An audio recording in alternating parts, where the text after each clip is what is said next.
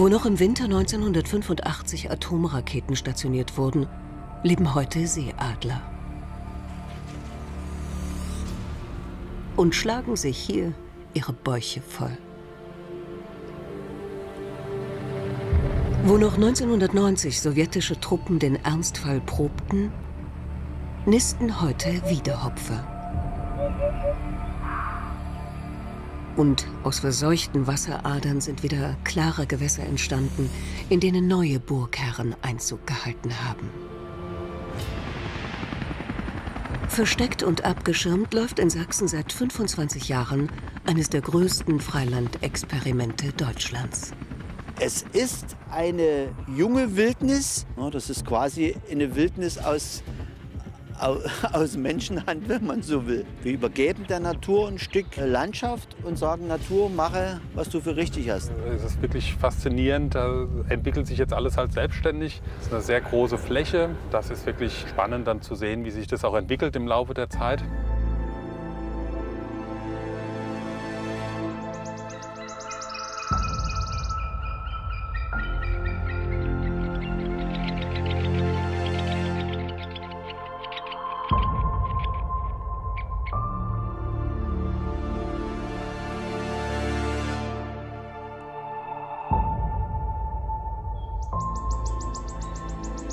Es ist ein unbekanntes Land direkt vor den Toren Dresdens. Eine Waldlandschaft bis zum Horizont, über 70 Quadratkilometer groß, ohne Straßen, Dörfer oder Schienenwege. Die Königsbrücker Heide ist das größte Naturschutzgebiet in Sachsen.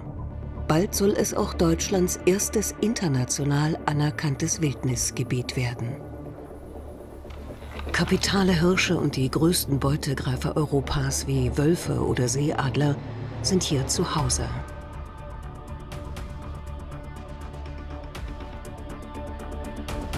Noch vor 30 Jahren ist es völlig anders. Auf weiten Flächen der Landschaft wird fast alles Leben ausgelöscht.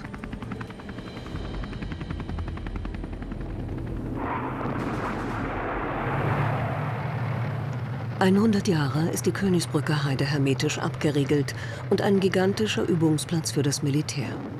Zu DDR-Zeiten ist es eines der größten Stationierungsgebiete der Sowjetarmee.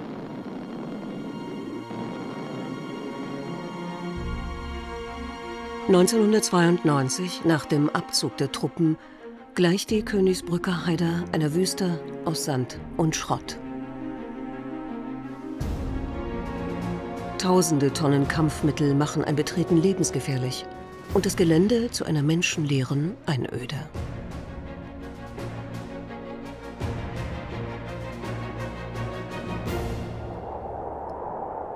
Genau zu diesem Zeitpunkt entwickeln sächsische Naturschützer eine Vision.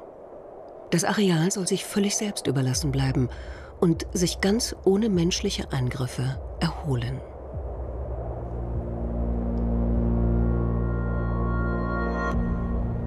Dirk Sinatschke ist einer der wenigen, der diesen Wandel von Beginn an miterlebt. Er ist auch dabei, als kurz nach dem Abzug der Sowjetarmee Naturschützer das erste Mal das unbekannte Terrain erkunden. Ich kann mich noch erinnern, wir wurden eingewiesen vom Kampfmitteldienst. Wir sollen äh, das etwas locker sehen mit den Granaten auf dem Weg. Die Zünder werden alle raus, immer schön zwischen die Räder nehmen. Ich als Fotofreund bin damals in großen Jeep gefahren. Ich habe nicht ein Bild von dieser Exkursion. Ich war emotional etwas ausgelastet. Auf der Königshöhe, kann ich mich noch erinnern, war für mich der Eindruck, wie als wenn man am Rand einer riesigen Sandgrube steht und schaut in die ausgeräumte Landschaft. Und man war natürlich voller Optimismus. Was kannst du jetzt damit machen? Hast eine riesige Fläche frei jetzt plötzlich. Ja, und als Forstmann denkt man in eine Richtung, oh Forsten, aber durch das viele an Munition war eigentlich jedem klar, ja, so einfach geht das nicht. Und der Naturschutz war die, die tollste Lösung, die die Situation, die, wenn du so willst, ein historisches Geschenk war, äh, ausnutzen konnte und eine Möglichkeit bot, die eigentlich in der normalen Kulturlandschaft nirgends in der Größe mehr zu organisieren war. Es ist die Geburtsstunde eines Landschaftsversuches, der in Mitteleuropa nahezu einmalig ist.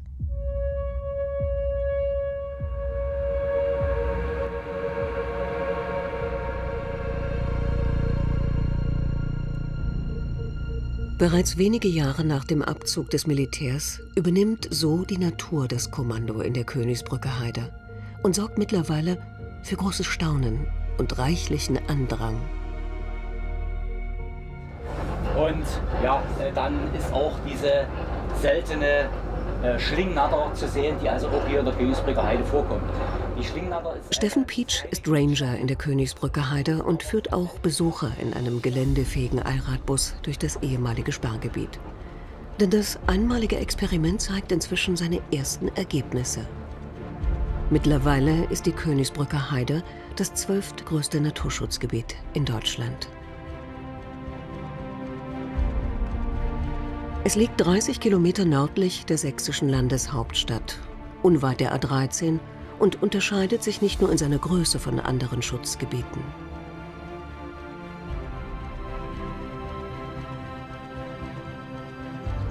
Etwas Besonderes ist sein innerer Kern, die Naturentwicklungszone. Auf einer Fläche so groß wie etwa 5000 Fußballfelder können sich hier Tiere, Pflanzen und Lebensräume völlig frei entfalten. Der Mensch greift weder ein, noch stört er durch seine Anwesenheit. Deshalb ist in der Kernzone der Königsbrücker Heide bis heute das Betreten verboten. Und gerade deshalb mausert sich die Landschaft auch zu einem Märchen aus tausend und einem Biotop.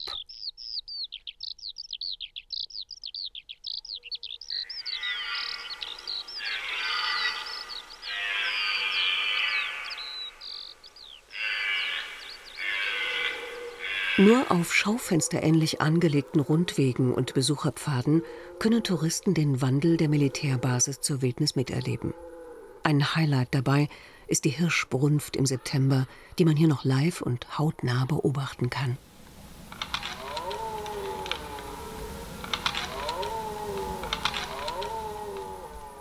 Ja, ich hätte nicht gedacht, dass es so viele Hirsche sind, dass man so gut hört. Ich war ein bisschen skeptisch, aber funktioniert ganz gut. Und wir selber waren schon hier viel und haben das jetzt unseren Freunden geschenkt als Geburtstag und deshalb sind wir heute zu viert hier. Also ich bin wahrscheinlich der, der am weitesten kommt. Also ich bin aus Kanada, aber ich wohne schon 20 Jahre hier. Und ähm, ich habe ein kleines Ferienhaus im Erzgebirge. Ich bin in Tschechien und sehe sehr oft.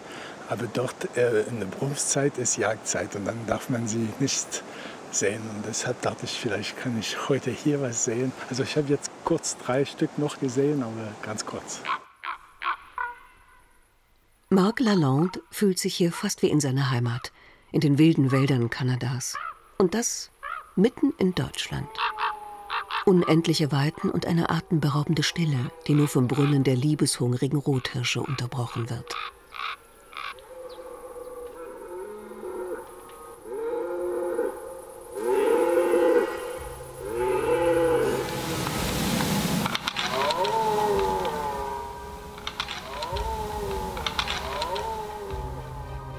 So große und unzerschnittene Landschaftsräume lassen sich im dicht besiedelten Mitteleuropa kaum noch finden. Selbst viele Nationalparks erreichen nicht diese gewaltigen Größen von mehr als 50 Quadratkilometern freier Naturentwicklung.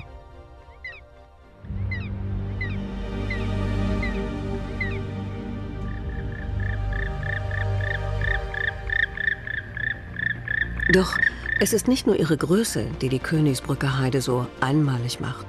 Es ist vor allem die enge Verzahnung unterschiedlichster Biotope. Steppenähnliche Dünenzüge liegen hier neben Feuchtgebieten und trockene Heiden grenzen direkt an kristallklare Gewässer.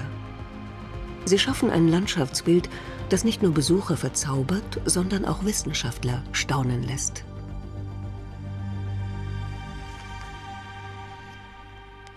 Da löst das etwas aus, was ich bis jetzt in Mitteleuropa eigentlich noch nicht gesehen habe. Ein Bild, wie Sie es in dieser Form in Litauen, Lettland, in Weißrussland, in der Umgebung von St. Petersburg überall finden. Aber für Mitteleuropa ist das einmalig.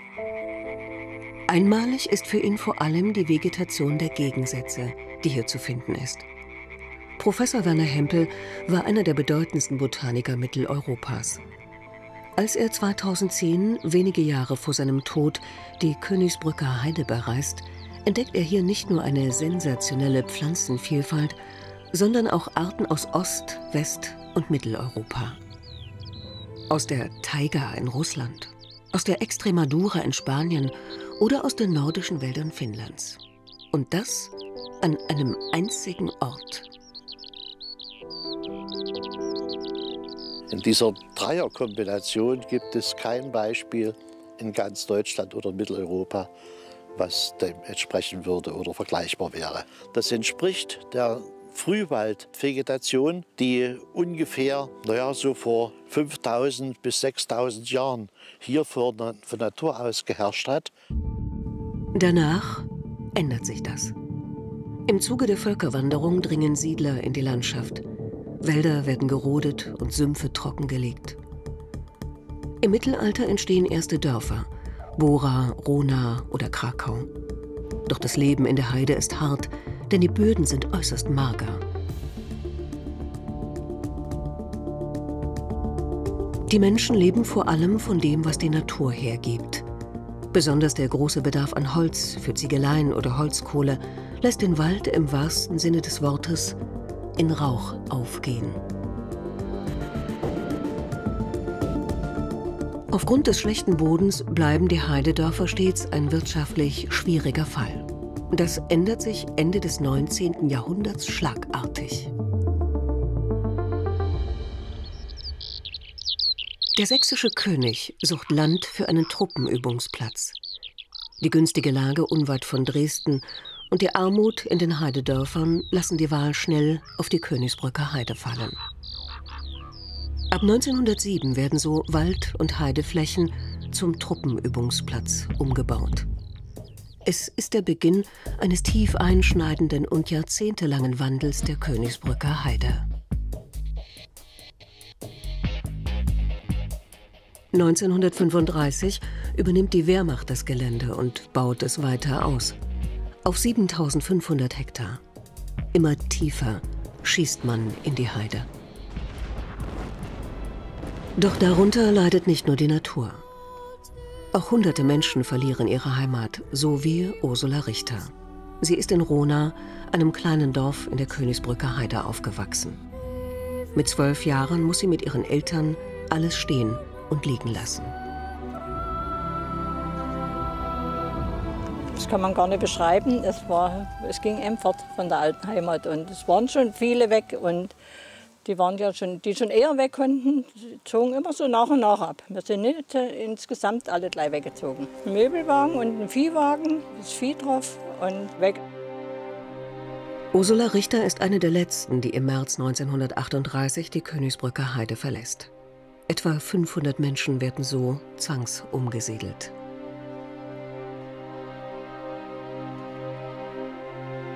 Danach übernimmt das Militär das Kommando in den Dörfern. Die Gebäude werden als Mannschaftsräume, Büros oder Truppenlager genutzt. Straßen werden in den Wald geschlagen und es entstehen auch ganz neue Kasernenkomplexe. Und aus einigen von ihnen sind nun auch ganz exotische Klänge zu hören. In Königsbrück gibt es Wehrmachtssoldaten mit Turban. Ab 1941 wird hier die Legion Freies Indien aufgestellt.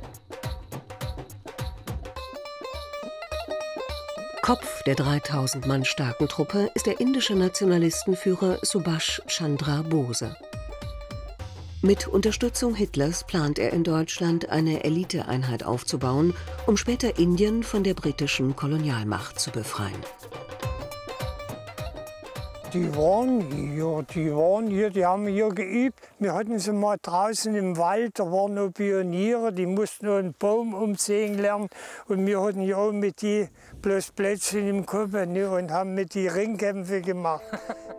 Fritz Ruland kommt 1941, im gleichen Jahr wie die indischen Legionäre, als Revierförster in die Königsbrücker Heide.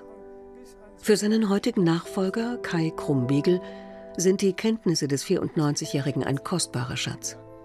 Denn wie kaum ein anderer hat Fritz Ruland den Wandel der Heide hautnah miterlebt und kennt den Wald noch so, wie er einmal ursprünglich war. Ja, da waren auch schöne, schöne Fichtenbestände hier hinten. Das ist alles weg, ne? das ist alles verschwunden. Verschwunden sind auch die letzten Bestände des Birkwildes. Jedes Frühjahr balzten und tanzten die scheuen Raufußhühner durch die Heide. Mittlerweile sind sie in Sachsen fast ausgestorben. Vermutlich die letzten Birkhähne wurden 1943 hier geschossen. Fritz Ruland musste als Revierförster dafür die Vorbereitungen treffen. Denn nicht nur das Militär drängt die Natur von Jahr zu Jahr mehr zurück. Der Truppenübungsplatz ist zugleich auch ein beliebtes Jagdgebiet für Offiziere aus Dresden. Und da haben wir müssen dann für General Olbricht hier in Kanzel bauen hier. Und er wollte unbedingt mal einen Birkhahn schießen hier. Und da mussten wir dann für einen Schirm bauen, dass er sich konnte rein. Und wir durften auch ins Haus, in Haus von Otterschütz vom Weiden gucken, wo er dann in Hahn geschossen hat. Ne? Seitdem der Wind des Nationalsozialismus über Deutschland weht, wird der Truppenübungsplatz Königsbrück massiv ausgebaut. Und nicht nur für militärische Zwecke genutzt. Sogar ein Schwimmbad wird in den Wald zementiert, in dem deutsche Sportler für internationale Wettkämpfe trainieren. Bis heute ist die Anlage fast noch in ihrem Originalzustand. Und bis vor 30 Jahren war sie auch noch mit Wasser gefüllt und voll in Betrieb.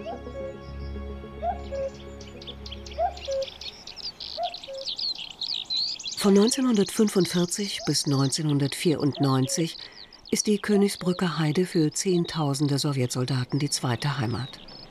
Eine Zeit, die sie nie vergessen werden. Noch heute kehren jährlich viele von ihnen hierher zurück, so wie Igor Komilzew und Wladimir Wassiljew. Sie kamen Mitte der 80er Jahre in die DDR. Nach den Diensterfahrungen in Russland wurde Königsbrück für beide das Paradies. Hier waren die Bedingungen einfach viel besser. Es gab ein besseres Gehalt, sowohl für die Offiziere als auch die Soldaten. Ein weiteres Plus waren natürlich die vollen Geschäfte. Deshalb wollten alle Soldaten und Offiziere hierher. Alle wollten hier dienen.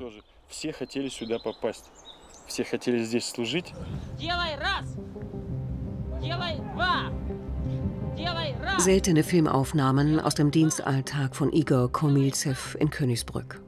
Ähnlich wie in Sibirien ist auch hier die Ausbildung extrem hart. Die Hantel, die hier geschwungen wird, wiegt 32 Kilo.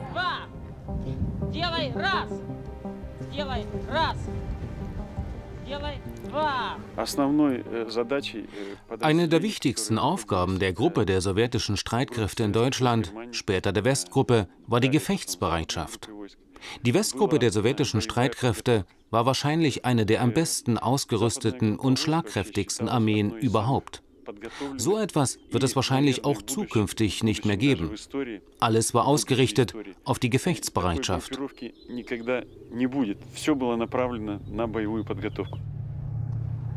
Igor Komilzew ist Kommandant beim 40. Garde-Panzerregiment. Noch vor 30 Jahren ist er so fast täglich in der Königsbrücke Heide unterwegs. In einem 40 Tonnen schweren T-62.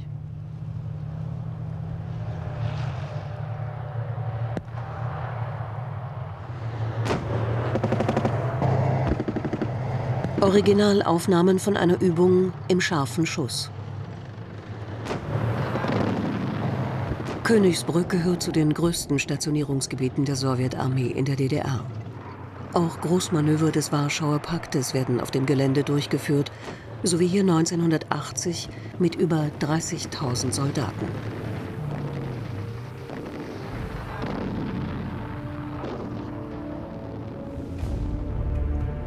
Zu den geheimsten Verbänden in Königsbrück zählt die 119. Raketenbrigade. Ihr Waffenarsenal besteht aus atomaren Mittelstreckenraketen mit einer Reichweite von über 900 Kilometern. Damit gehört der Truppenübungsplatz zu den heißesten Armeestandorten im Kalten Krieg. Es gibt eigentlich nichts, was es hier nicht gibt. Selbst der Abwurf von Panzern aus Flugzeugen gehört zum Übungsrepertoire.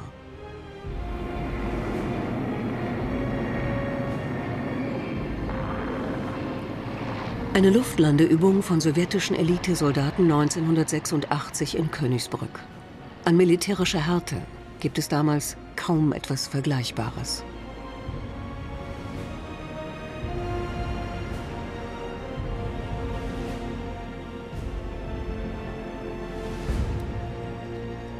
Stolz auf ihren Dienst sind sie noch heute. In Russland haben Igor und Wladimir nach altem Muster die Tafeln ihrer Dienstgebäude nachgefertigt und nach Königsbrück mitgebracht. Vor allem hier am Stabsgebäude kommen viele Erinnerungen hoch.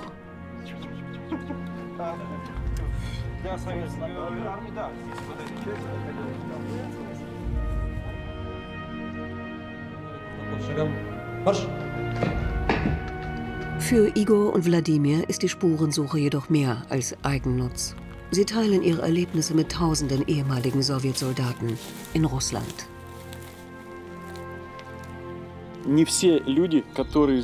Nicht alle Leute, die hier gedient haben, können heute auch wieder hierher kommen. Es ist sehr weit von Russland nach Deutschland zu fahren. Es gibt große Probleme mit dem Visum und viele haben auch nicht das nötige Geld dafür. Deshalb präsentieren wir unsere Erlebnisse und Aktionen im Internet.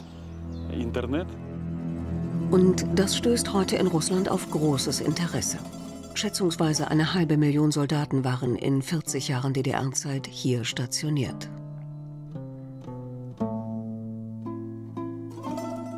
Die Menschen in und um Königsbrück bekamen jedoch davon kaum etwas mit und wussten auch nicht, was hier genau passiert. Denn das Gelände war hermetisch abgeriegelt. Wir haben in der letzten Zeit mal nie gewusst, sind hier Düsenjäger auf dem Platz oder sind das irgendwelche Fahrzeuge? Wir wussten ja nicht am Anfang, dass das Turbinenpanzer sind. Eine ganz neue Art von Panzern, Panzerantrieb. Turbinenantriebe hatten die. Und die hatten unheimliche Geschwindigkeiten dadurch drauf. Ne?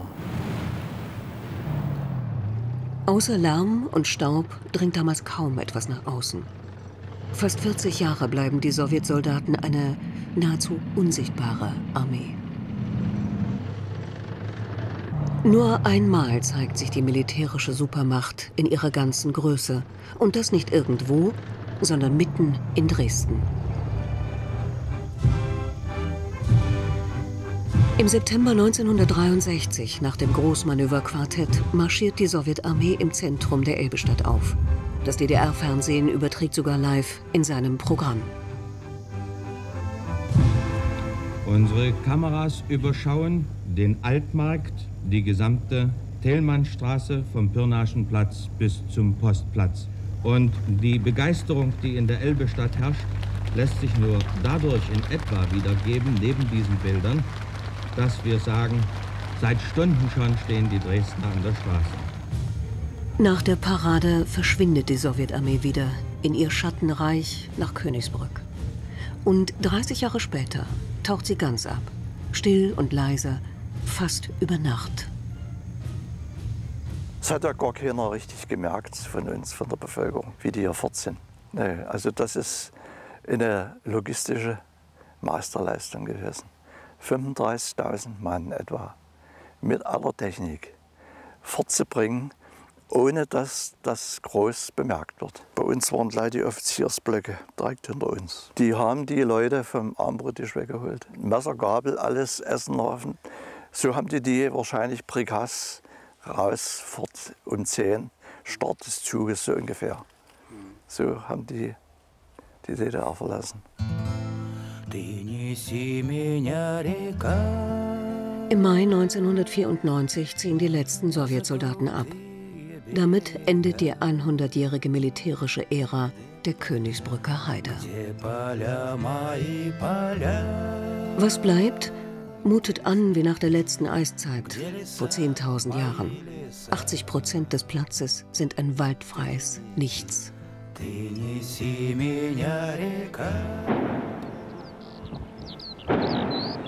Das Betreten der Heide bleibt aber auch nach dem Abzug der Sowjetarmee verboten.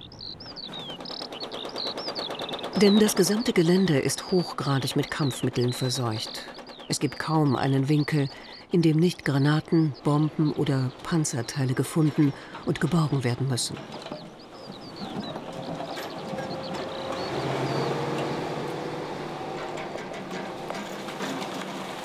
Ab 1994 beginnen umfangreiche Sanierungsarbeiten. Dabei stoßen die Mitarbeiter des Kampfmittelbeseitigungsdienstes und der Forstverwaltung immer wieder auf Außergewöhnliches, sowie diese in Deutschland vermutlich einmalige Konstruktion russischer Bauart.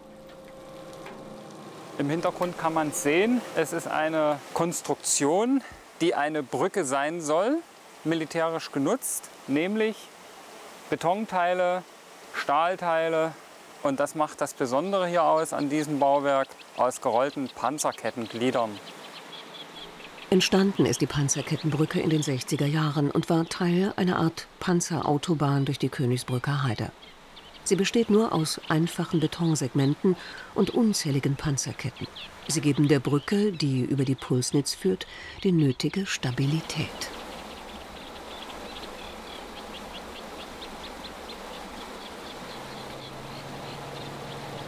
Schätzungsweise 180 Tonnen Stahl sind hier in einfachster Weise verbaut worden und waren über 30 Jahre bei höchster Beanspruchung voll funktionstüchtig.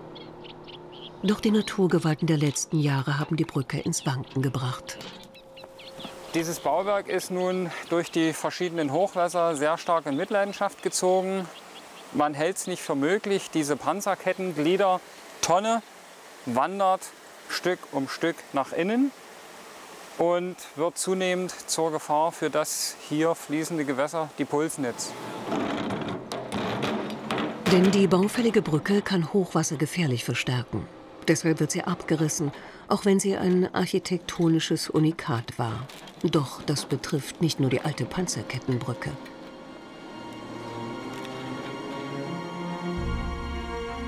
Auch viele Gebäude, die noch zu Kaiserszeiten entstanden, sind verschwunden.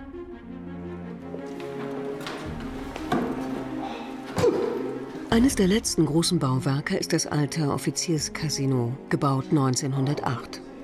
Igor und Wladimir kennen es noch in seinem alten Glanz, mit großem Tanzsaal, Restaurant und Bar.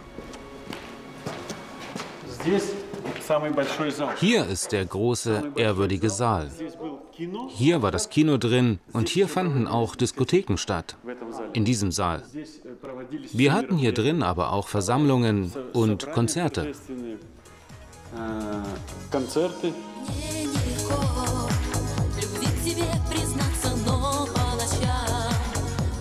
80 Jahre ist das Offizierscasino das kulturelle Zentrum des Truppenübungsplatzes.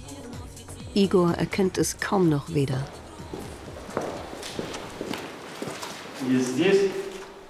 Wenn ich mich noch recht erinnere, war hier auch das Ehrenmuseum der Armee untergebracht. Aufgrund seines Zustandes sollte 2016 das Gebäude abgerissen werden. Doch dazu kommt es nicht. Heute sieht es wieder so aus, fast wie damals. Denn Wolfgang Hausdorff hat sich in das Gebäude verliebt. Dabei sollte er es eigentlich abreißen. Kurz bevor das eigentlich abgerissen werden sollte, bin ich mit den Projektanten nochmal hier durchgegangen und habe mir das Gebäude angeguckt, weil wir uns beteiligt haben bei den Abriss mit als Firma. Und da ist mir das dann aufgefallen, dass man eigentlich so Gebäude nie wegreißen kann.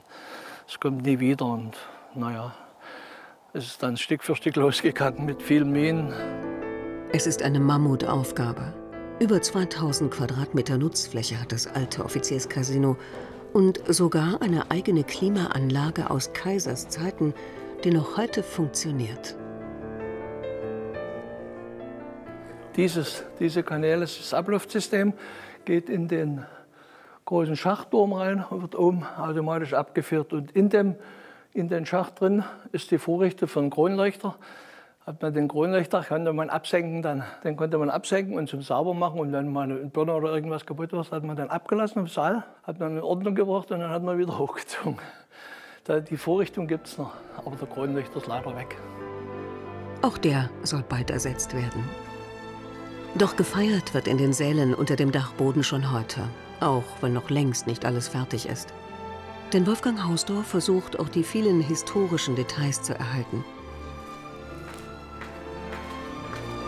Selbst die über 100-jährige Lichtanlage ist geblieben. Und aus modrigen Kellerräumen ist ein uriger Clubraum entstanden. Später soll es neben Museum, Bar und Tanzsaal auch noch Übernachtungsmöglichkeiten geben. Doch nicht nur im alten Offizierscasino ist nach dem Abzug der Sowjetarmee wieder das Leben in die Königsbrücker Heide zurückgekehrt.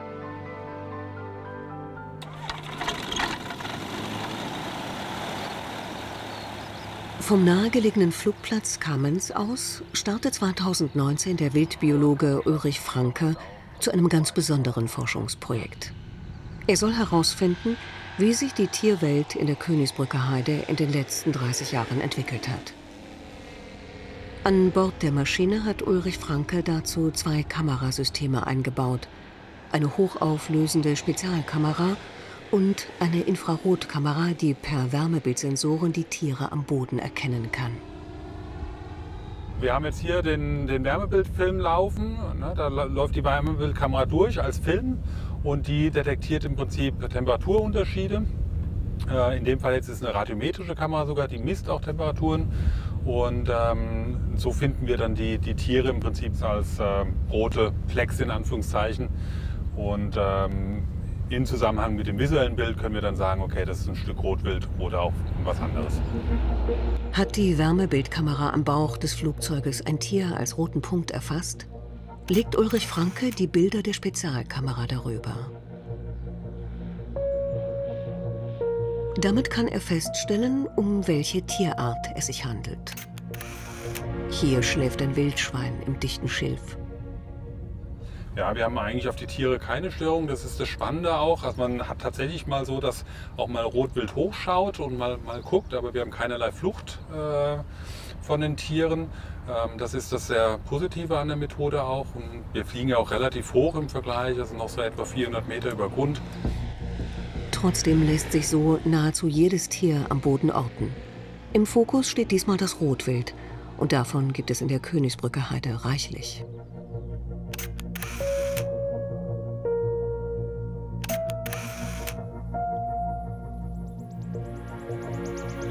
Im Vergleich zu anderen Rotwildgebieten lebt hier etwa das Zehnfache an Tieren. Dabei war es noch vor 30 Jahren, nach dem Abzug des Militärs, nahezu ausgerottet.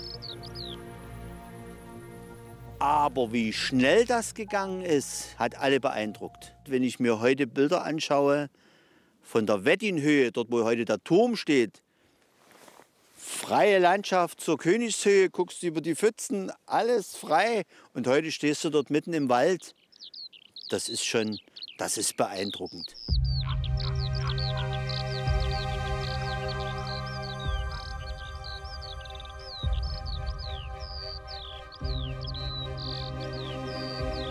Obwohl zu Beginn der 90er Jahre die Begehrlichkeiten groß sind und bereits Pläne für eine wirtschaftliche Nutzung der Heide als Industriegebiet oder Flugplatz vorliegen, setzen sich die Naturschützer durch.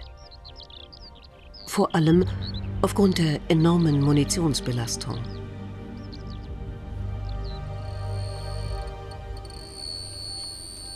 Fünf Millionen Stück Kampfmittel und tausende Tonnen Schrott wurden bis heute hier entsorgt. Doch das ist eher ein Tropfen auf den heißen Stein. Die ungeheure Menge sprengt jeden finanziellen Rahmen und macht eine vollständige Beräumung der Königsbrücker Heide unmöglich. Weite Teile des Platzes werden deshalb kampfmittelbelastet bleiben. Die Natur stört das nicht. Mehr als 60 Tierarten, die in Sachsen als ausgestorben oder vom Aussterben bedroht eingestuft sind, ließen sich bereits kurz nach dem Abzug der Sowjetarmee finden, so wie der Wiedehopf. Er braucht genau diese offenen Heideflächen, um im Boden nach Nahrung zu stochern.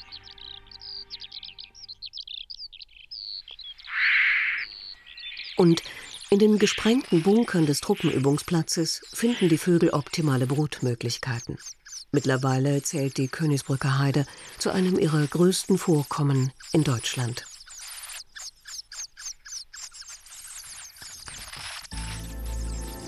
(1996) erklärt der Freistaat Sachsen die Königsbrücker Heide zum Naturschutzgebiet. Ab 2021 soll sie das erste international anerkannte Wildnisgebiet in Deutschland werden.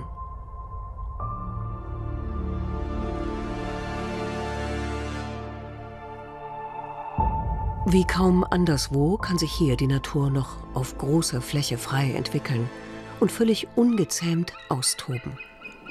Egal, was passiert. Naturgewalten werden in der Königsbrücke Heide nicht gebremst. Wo sonst Deiche das Wasser in rechte Bahnen lenken, wird den Elementen hier freier Lauf gelassen. Innerhalb von Stunden kann sich so die trockene Heide in eine nasse Auenlandschaft verwandeln.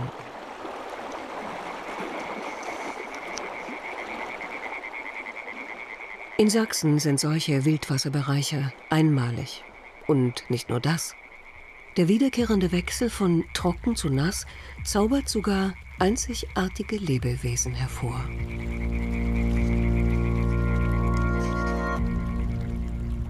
Der Urzeitkrebs Triops, der Dreieugige, ist eine der ältesten Tierarten der Erde. Über 200 Millionen Jahre alt. Nur in Kleinstgewässern, die bei Hitze austrocknen und sich bei Regen schnell mit Wasser füllen, können sie überleben. Ihre Eier überdauern jedoch Jahrzehnte im trockenen Sandboden, so lange, bis die nächste Überschwemmung kommt. Und die ist hier nicht nur an Regen gebunden.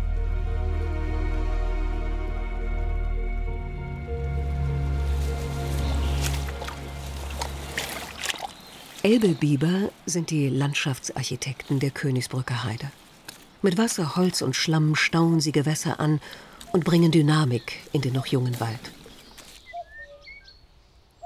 Keine andere Tierart kann Landschaften so stark umbauen wie sie. Dabei waren auch die Biber hier schon fast ausgerottet.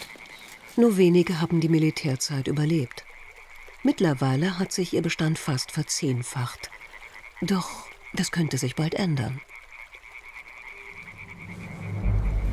Um die Entwicklung der Tierarten zu erfassen, hat Dirk Sinatschke in der Königsbrücker Heide Fotofallen installiert. 2010 macht er dabei eine Entdeckung, die den Bestand der Biber stark beeinflussen könnte.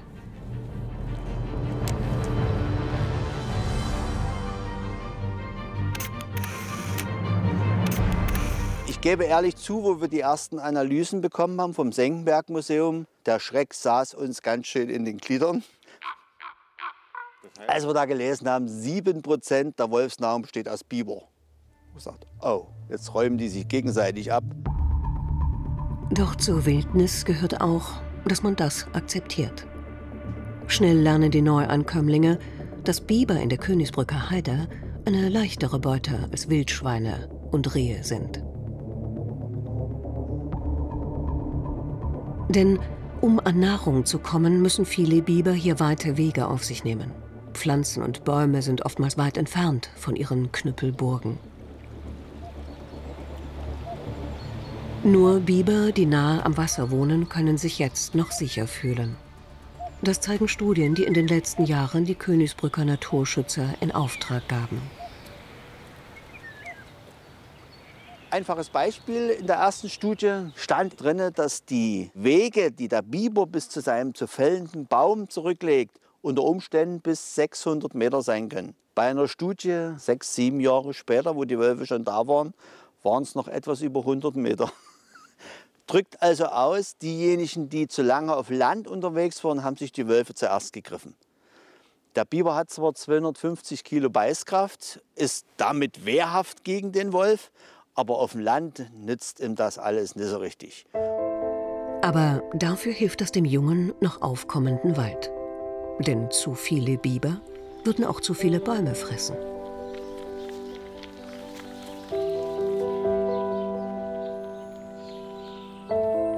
Die Wölfe halten die Biber in Schach. Genau diese natürlichen Regulationsmechanismen kommen nun wieder in Gang. Und damit nimmt die Vision einer Wildnis mitten in Deutschland konkrete Gestalt an.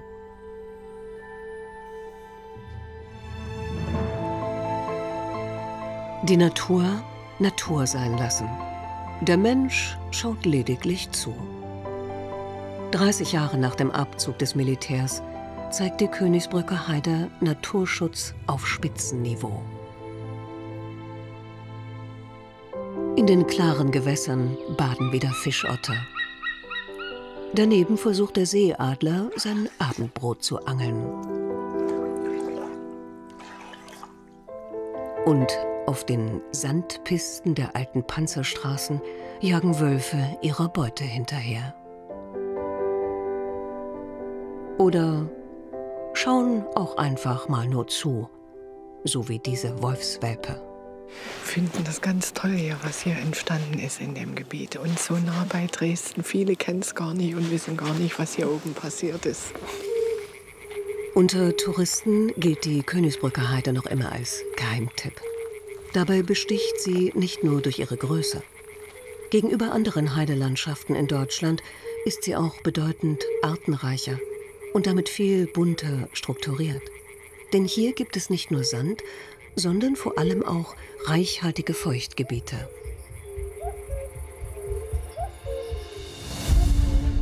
Auf mehr als 50 Kilometer Länge bringen es kleine Flüsse, Bäche und Quellmoore, die wahren Lebensadern der Königsbrücker Heide.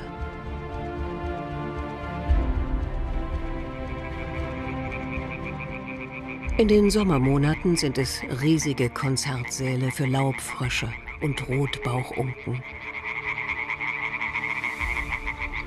Im Herbst verwandeln sie sich in nahrungsreiche Tankstellen für tausende Zugvögel auf ihren weiten interkontinentalen Wegen, so wie für diese Rauchschwalben.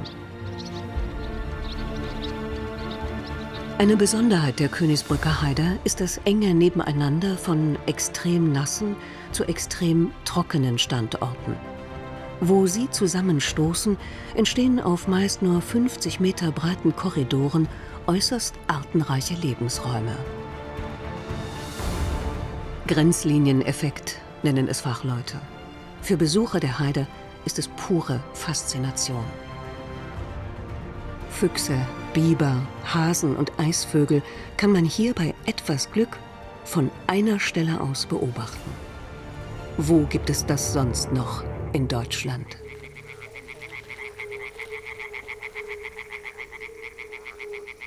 Raum und Zeit bekommen hier eine völlig neue Dimension. Voraussichtlich in 300 Jahren wird sich hier ein Naturwald aus riesigen Eichen erstrecken.